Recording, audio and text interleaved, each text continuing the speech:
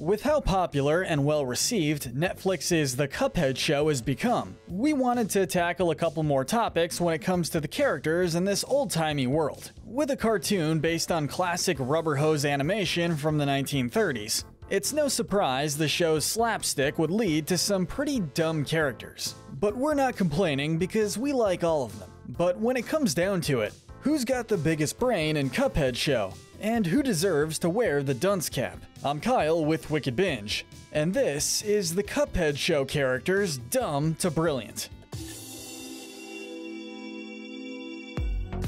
Now, while the show doesn't have much lore, we do want to issue a quick spoiler warning, as we'll be talking about specific episodes and moments, so we highly suggest that you watch the show first. With that said, we're going to be starting off with the dullest knife in our drawer, and working our way up to the most intelligent. These characters are the Dim. At the very bottom of our list is Jasper, one of the ghosts from episode 6. Jasper is mostly a lackey to Duke and Emma, and it's made pretty clear. Jasper is quite dull and doesn't understand basic commands or words at times. Now, this could very well be a result of the saw blades stuck in his head, which we assume is how he died. He's also a punching bag for Duke, and he doesn't even really seem to mind being used as such.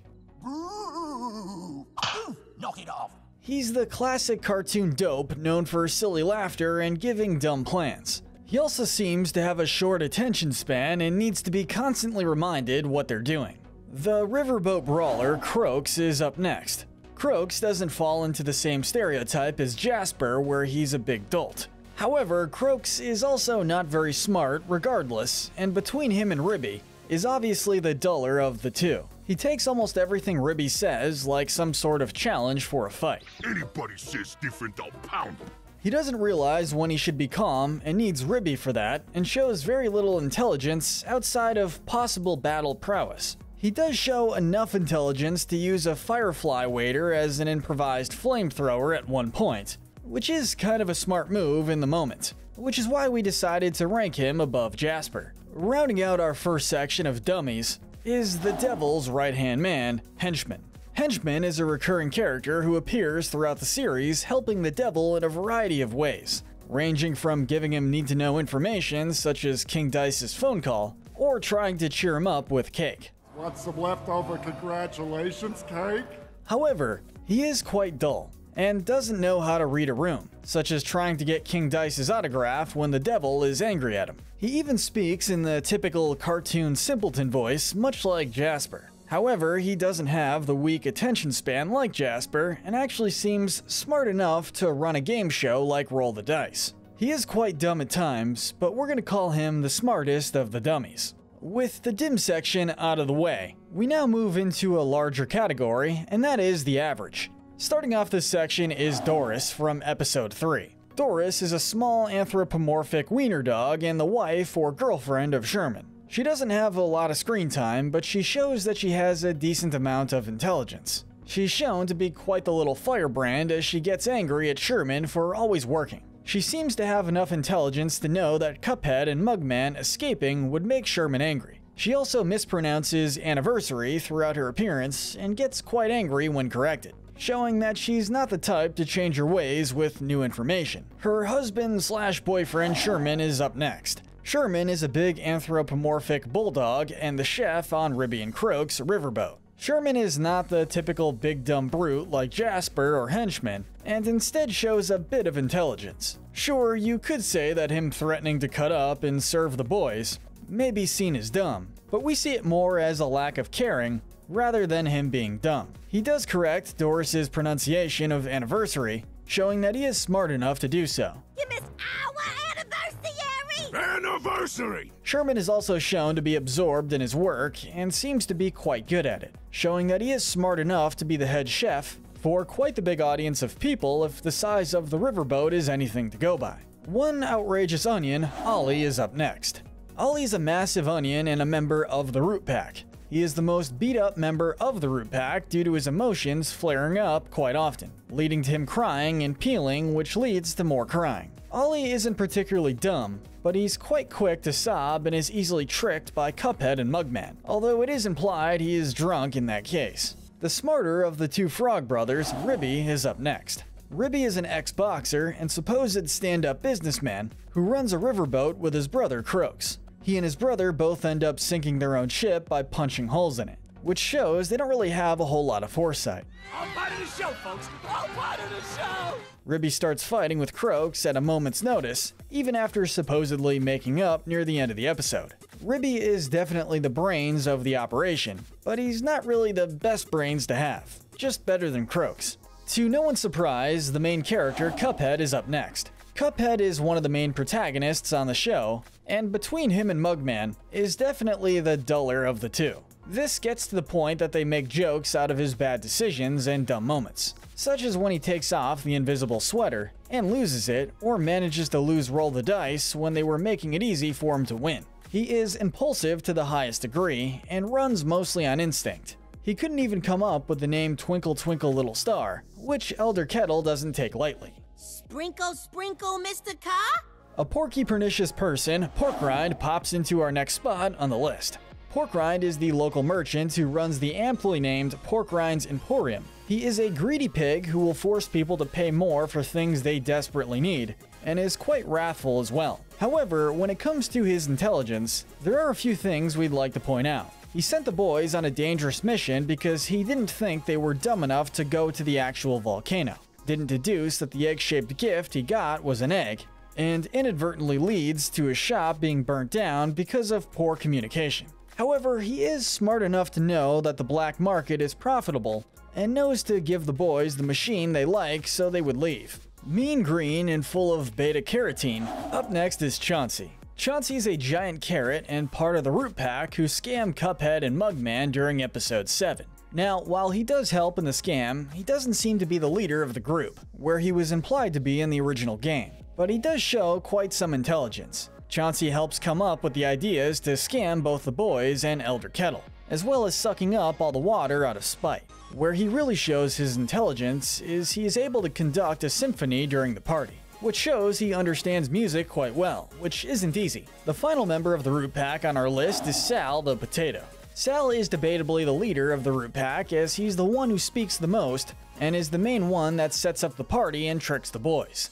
This party ain't over till the sun comes up. Sal is shown to be a bit of a thug, however, who only cares about his popularity, especially around the heirloom sisters. He's smart enough to know that Ollie crying will lead to problems, and he's the one who dreams up the orphan story to get Cuphead and Mugman away. He actually seems to be the smartest of the group, but that could just be because he speaks the most. Flying into our next spot, we have Duke and Emma, the other ghosts from episode 6. We rank the two of them together because they are about the same when it comes to intelligence, as they both fall for the same trick that Cuphead and Mugman play. Duke seems to be the leader, and gets after Jasper quite often, as his intelligence allows him to trick and scare the boys in a variety of ways. Emma plays along and is just as intelligent as Duke, although she seems more like a peacekeeper than anything else. The two of them show that they are able to trick people rather easily, and keep people away from their graveyard in a variety of interesting ways, if the fact that no one mentions or goes through it is anything to go by. Rounding out this section, we have Elder Kettle. Elder Kettle is the caretaker for Cuphead and Mugman, where he is shown to be quite strict because he knows how impulsive Cuphead can be. Rule number two. No fighting! Elder Kettle was in the military in his younger years, and a decorated war hero showing he must have at least some moderate intelligence. However, in his old age, he's lost a lot of his brain power, such as when he greases the stairs to then subsequently trip and fall on them, and sets hundreds of traps that he falls into. This is the main reason we can't rank him any higher. His old age has significantly diminished his brain power. With our average intelligence characters out of the way, we now move into the sharp witted. Starting out this section, we have King Dice. King Dice was the devil's right hand man and the host of a game show called Roll the Dice. He was smart enough to make relatively easy games as a way to take souls, and do so under the radar with no one knowing or realizing. He kept himself as the most popular game show on Inkwell Isle. His downfall comes from the fact that he's too smart for Cuphead. His games are designed to be easy, so of course, Cuphead finds a way to fail them. However, he does lose his popularity because he's trying too hard to get Cuphead's soul, showing he can be just as impulsive as Cuphead at times. Maybe a bit of a surprise, but up next is Baby Bottle. Baby Bottle mostly lands here on the list because of how smart he is compared to other characters his age. Not only is Baby Bottle malicious, but is also actively homicidal, and honestly that takes some smarts. Baby Bottle understands words said by others and will actively disobey them, and when he's called a bad baby, he shifts from malicious to murderous. He knew to cut the chandelier to harm Cuphead and Mugman, and he was well aware that he shouldn't break the radio, and does it regardless. Baby Bottle, when compared to other babies, is a genius, but compared to other characters on the list, we can only rank him here, although he is still much smarter than Cuphead. Our main antagonist, the Devil, is up next. The Devil is an interesting case because he shows intense smarts and intense stupidity at various different points in the series getting his worst moments out of the way, he's not the greatest liar, despite being supposedly a trickster, and does manage to trick Cuphead multiple times, although is often outsmarted by Mugman. You don't get to run away! He also spends most of an episode trying to steal Cuphead's soul, despite knowing that Cuphead was wearing the sweater. But we can't fault his determination. However, he does run a respectably intense, soul-stealing network and can trick all kinds of people relatively easily. He's high above the rest of the roster because of his bag of tricks, although he is ultimately outsmarted by a few other characters, so we can't rank him any higher. Rounding out our sharp-witted section, we have Mugman.